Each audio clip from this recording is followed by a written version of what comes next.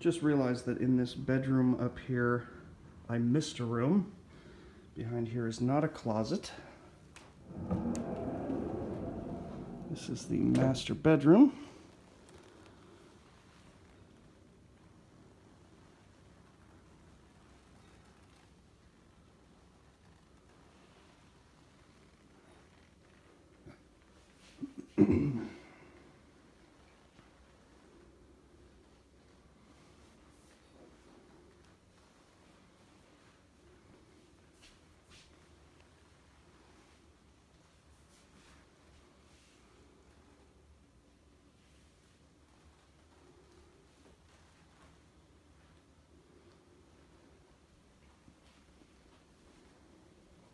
So this was the room at the top of the stairs.